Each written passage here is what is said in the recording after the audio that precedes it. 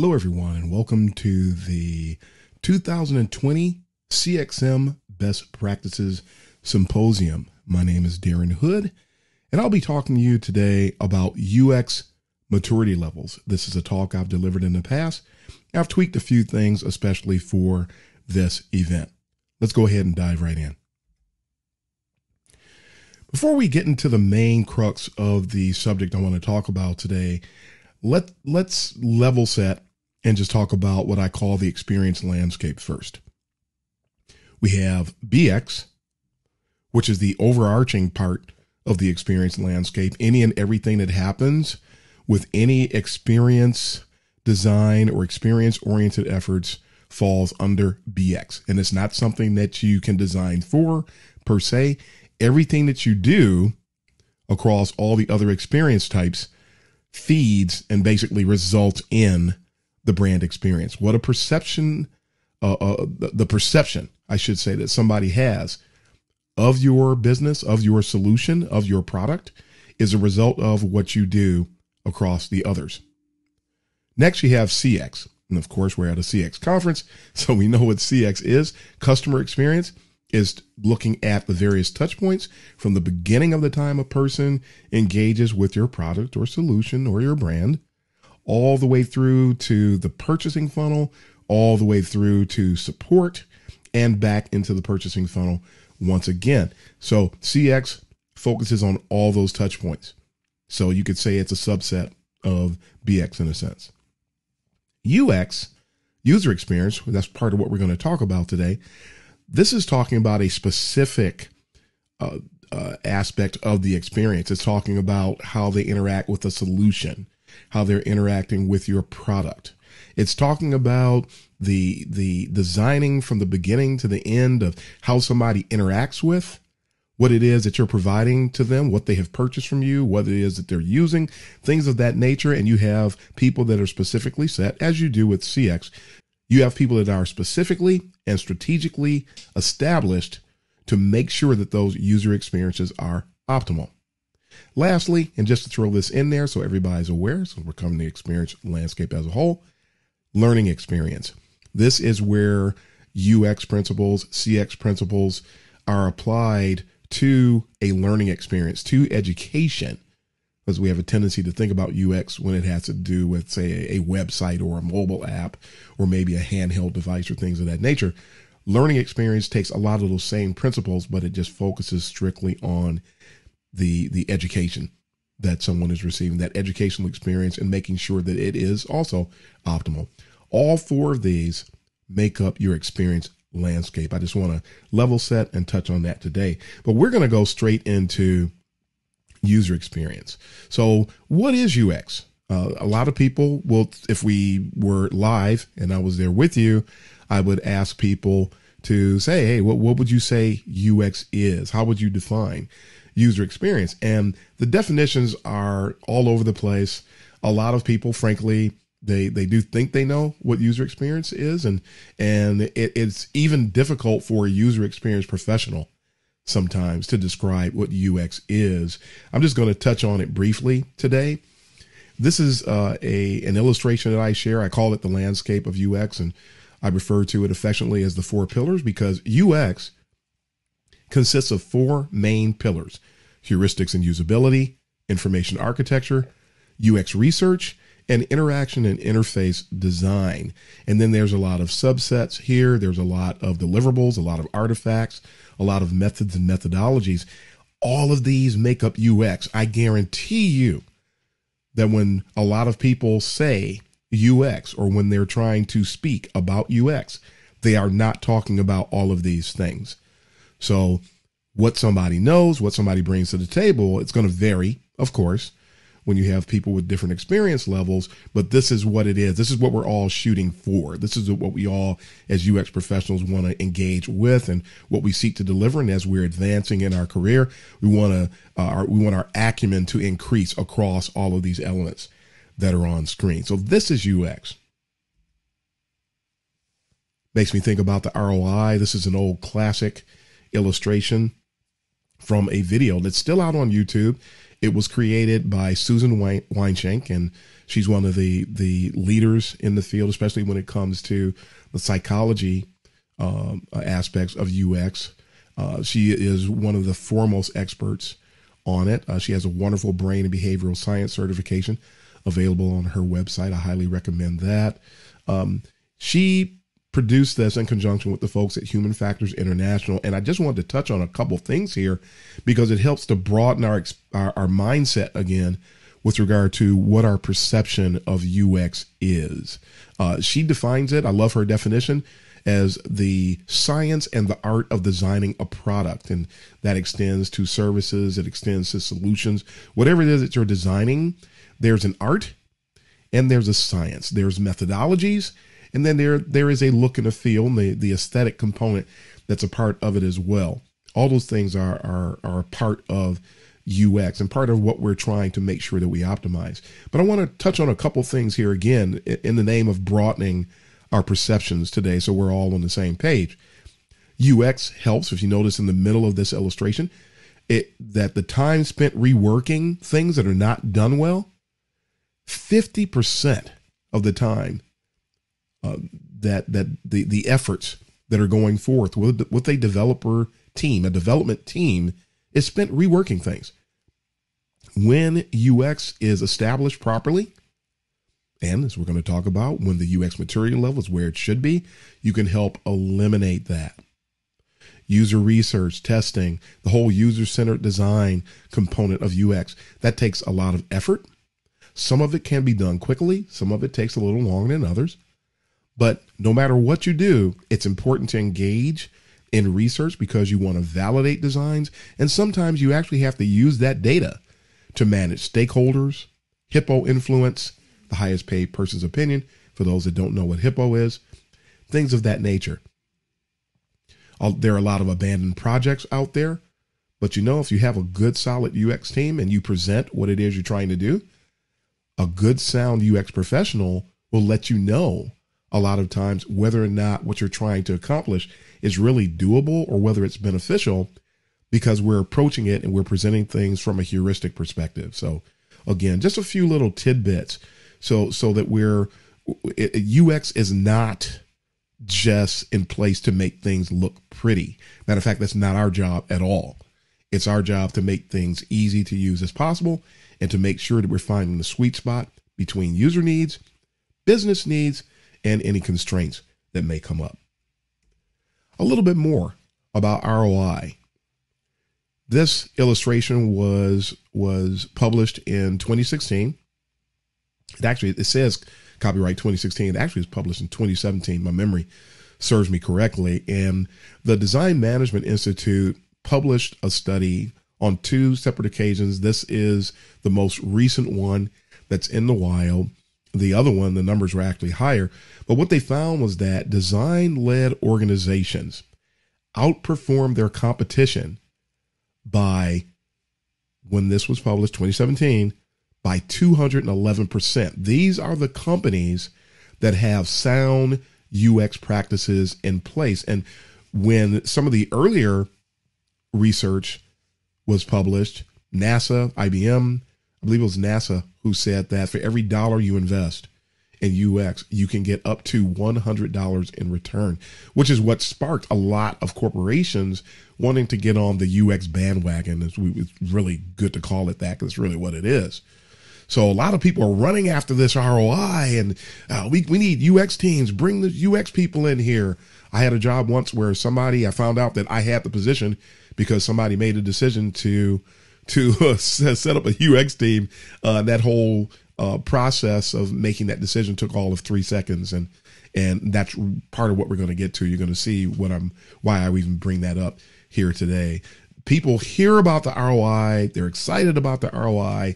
Everybody wants to make money. Everybody wants to be efficient, and everybody wants UX.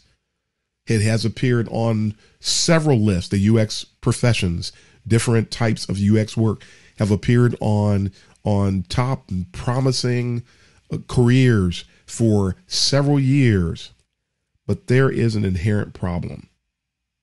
And that's what we want to address and solve for many of you today. Now, you would think, Well, Darren, what are you getting at? Uh, you know, we we got a growing UX team.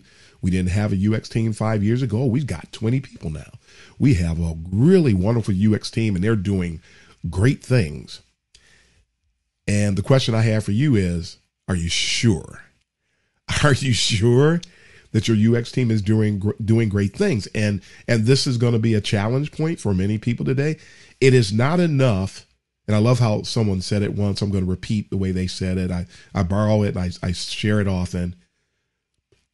Decorating your your space with UX personnel is not the same as having a sound UX practice. And having people in place, it's easy to pat yourself on the back because you hired three or four UX people. But wouldn't it be better to have a UX team that's properly structured, where you've got senior or seniors and then you've got junior uh, juniors and you've got your seniors that are helping the the the juniors to advance their careers and and everybody's working together and sharpening those saws and making things better. Isn't that what we want to do? And and and, and part of where we're going today is is anybody tending the sheep? What do i mean by that? You can have people in place but what escapes many people when it comes to UX is that UX is a practice. It's a discipline, a discipline that most companies are just getting involved with over the course of the last five to 10 years. Some companies, even though UX, even in its earlier stages when it wasn't called UX, was uh, it, was in the early 2000s when when a few companies started getting on board. Then everybody doesn't have that luxury of having had an established UX practice in their organization. And those that are just jumping on the bandwagons miss what you're about to see here today. So again, it's not enough just to have people on staff. We need to take this a few steps further. And and what I propose to you is that you need to always make it a point that you are keeping the pulse taking the pulse, keeping the pulse of your organization's UX maturity level. You also need someone that is skilled enough in UX that they can manage the UX maturity level. This is a grossly overlooked aspect of UX today. You, you thought you could hire some project managers and just bring them in and they know what to do and you let them go and everything is fine. You bring in some some quality analysts and you let them go and do their thing and everything is fine. Those disciplines have been around much longer than UX. And those disciplines don't have people in mass jumping on board, getting seeking these positions, getting hired and bringing frankly nothing to the table. So people are are clamoring for these UX positions in their company and establishing the the positions, but there's also a bunch of people out there clamoring to get hired into the positions. And if you don't have a sound maturity level, you're going to hire the wrong people. And you're going to hire those people who really don't know what UX is. And as a former UX manager, I have seen it and I've talked to people around the world. A lot of people are falsifying their UX qualifications and if you don't have anybody to run interference and and spot those people and flag those people, yeah, you can have a UX team of 20 people. How many real UX professionals do you have? And so you're going to see how that how that actually plays into it here. So what is a UX maturity level? What is that really all about? we're going to give you some definitions and then we're going to show you some examples. So a UX maturity level basically it describes the levels of your evolution, your operation, and your status as it pertains to UX. How mature are you? Think of think of it from that perspective and asking that question. How mature is my organization? We have a UX practice. How well are we really doing? I mean, do you have somebody who can objectively look at it and then strategically take charge of that to make sure that they're driving the organization forward and driving the skill level of your team members forward. Those are the things that are associated with having a strong UX maturity level. It's not enough to have team members. You remember the, the Harlem Globetrotters and they would always play these guys, the Washington Generals? If I remember correctly, they only beat the Harlem Globetrotters once in like 60 years or something like that. Do you want the Harlem Globetrotters? If you get my drift, or do you want the Washington Generals? In other words, do you want somebody who's skilled and really knows what they're doing? Or do you just want to have a team for the sake of having a team, even though they don't produce anything? And and if we don't manage maturity levels, that's what that's the risk. And that's going to cost you a lot of money. It's going to cost your company a lot of money. It could cost you your reputation. It's going to cost the users because the users are going to be made to suffer needlessly, not because of the the skill levels, the maturity level. It gets left to itself. And we'll talk about that again before we wrap up today too. So again, maturity level, UX maturity level is about the levels of organizational evolution and operation. Where is your practice? Where does your UX practice stand? And when you see the examples, it, it'll help this to to be a bit more digestible, make a little bit more sense for you if you're not getting it now for whatever reason. Why are UX maturity levels an important business factor besides what I've already mentioned uh, today? Well, basically, you remember what I mentioned earlier that you had the companies that outperformed their competition by 211%.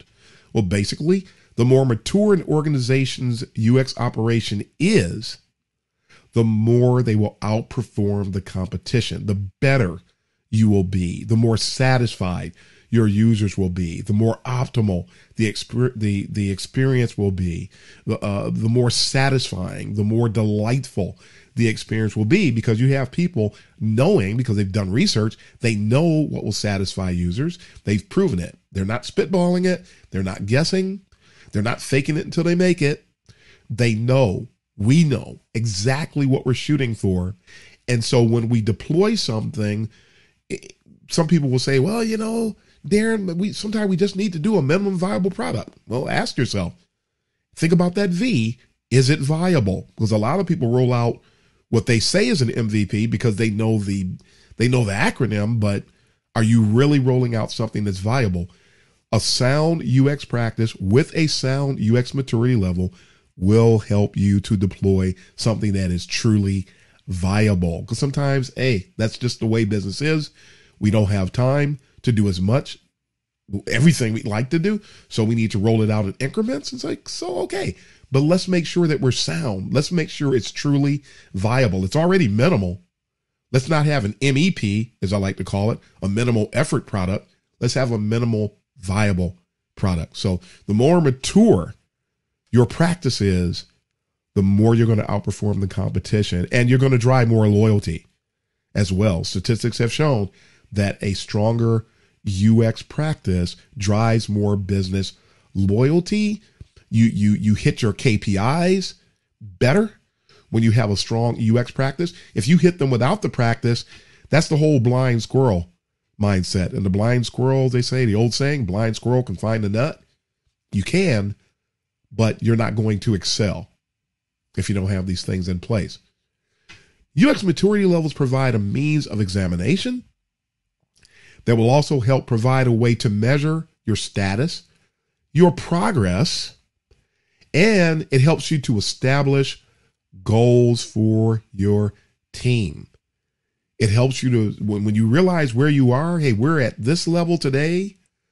What do we need to do to get to the next level? That's that strategic aspect of it. And UX strategies, another thing. We're not going to talk about that today, but that needs to be in place. That's part of what helps drive strong UX maturity levels. So let's look at a few examples. Got a, a handful of examples here, and there is no shortage of mature UX maturity models out there. And i am going to say this now because I probably forget to say it later. There will you will find maturity models that may or may not work for your organization.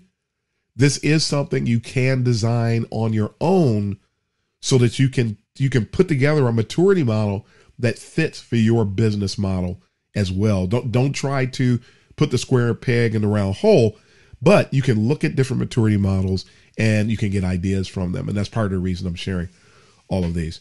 This is probably the most famous, and it was the first UX maturity model that was published.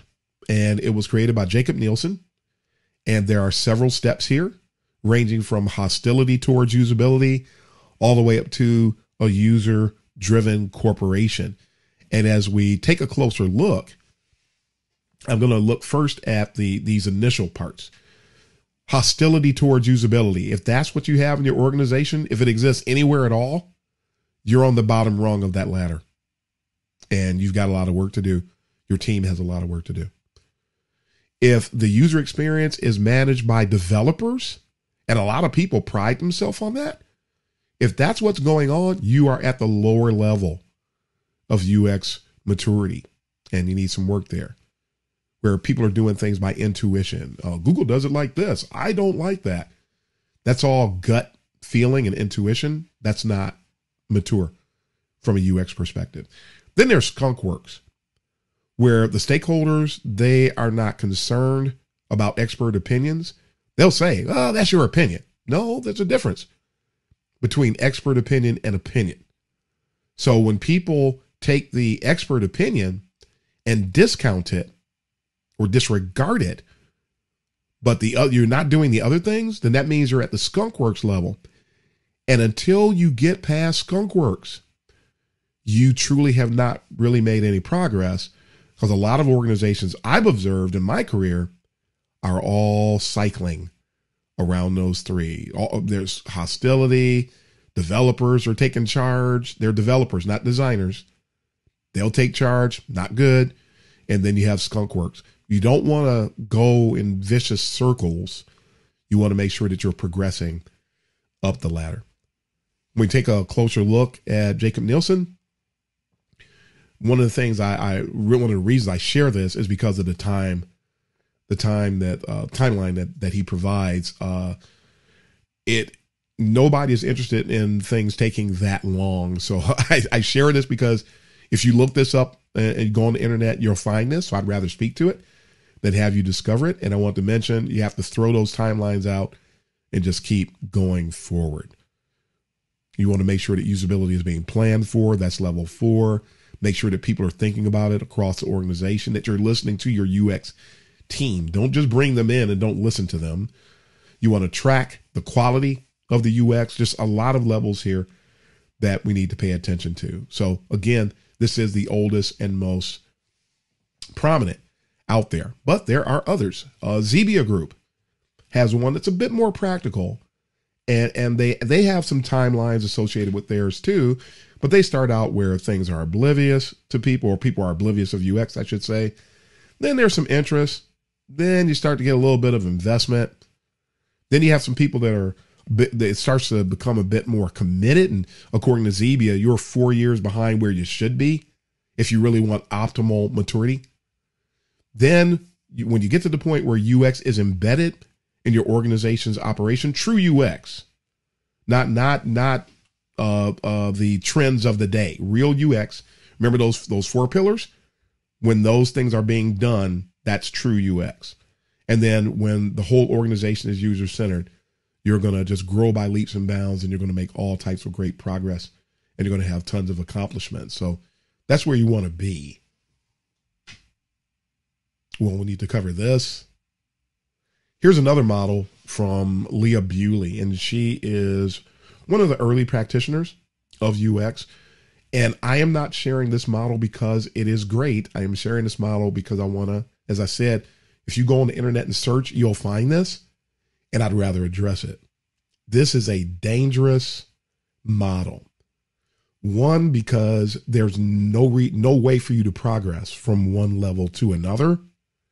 And I have spoken with people who think that this really lets you know that you can move fast. Excuse me. You don't have to take 30, 40 years like what Jakob Nielsen was talking about. However, um, you you have to make progress, and just to illustrate what I mean by this one being a bit on the dangerous side, level four talks about testing and learning, concept testing, A B testing, uh, analyzing data, which also means you're going to be synthesizing data. That should be happening earlier if, if, if, if so this is why it creates this mindset that this is something that you can oh we can get to level five in, in a year no you can't this is this does not really reflect the wisdom that's available in the earlier models in the other models. So if you see this, uh, you want to take it with a grain of salt. If you're you can do wireframes, it's not just for level one. You can you you can do wireframes and comps and interactive prototypes on level five. So so it, it can be a little bit deceiving. So if you come across this one, please be careful of this model. And then uh, one of the last ones we'll cover I have two more. Wondrich, uh, and excuse the typos in his illustration here. This is another one that's very practical. This is this is one that you can no timelines, just grow, just grow. Uh, UX is unrecognized initially, then you have interest, then people start investing. From they go from being invested to com- being committed, then they become fully engaged, and then you want to reach the point where it's embedded. So you can see these are the steps and start to identify what can we do to get from one level to another. And I hope you can see this is well beyond just having people on your team. Here's the model I put together where you have apathy initially, then people start to explore UX, then it's adopted. After adoption, you reach a point of saturation. And then after saturation, you ascend to assimilation. So this is this is nice and simple, practical. You should be able to observe your organization, see where you are. So it helps the maturity level, uh, the, the different levels to sink in, and it gives you real goals to shoot for. So again, there's no shortage of UX maturity models. They are everywhere. So there's plenty out there for you to tap into and to use in your brainstorming. And again, you can come up with your own UX maturity model but you need one. that's that's the key. So as we begin to wrap up, here's some what's in it for me statements. For stakeholders and teams, it helps you to identify your team's potential, helps you to understand the team dynamics, yes it does. Provides management cues, things that you need to do to make your team better, to make the organization better, the strategy I mentioned. Helps you to gauge your team's status. For management and growth, it helps you to to evaluate candidates when you're hiring. You can there is such thing as a personal UX maturity level. And you want to know how mature that person is from a UX perspective before you bring them on board. Helps you identify not only the candidates' maturity levels, but you can identify the maturity levels of your team members. And then you can develop growth plans because if you invest in their professional development, then that's something that really helps you to manage attrition and helps to really produce happy uh, a great environment with happy employees. Also fosters understanding of your own maturity level and planning for personal growth. So you need to know where you are. When it comes to you, if you're looking for a UX job, it helps you to identify suitable job openings. You want to go preferably to a company that has a higher UX maturity level. Helps you to evaluate whether or not you should, should ascribe value to a position, whether or not you need to uh, disqualify an opportunity because it's paradoxical. It looks like an opportunity, but really it's a trap. So watch out for those paradoxes out there. And it helps you to mark potential intrinsic value in an organization. Because if you love UX, you want to be in an organization that does it right. It makes you feel better, makes you happier. So as we wrap up today, I'll give you my little equation UX plus CX equals BX. You cannot design for BX in particular.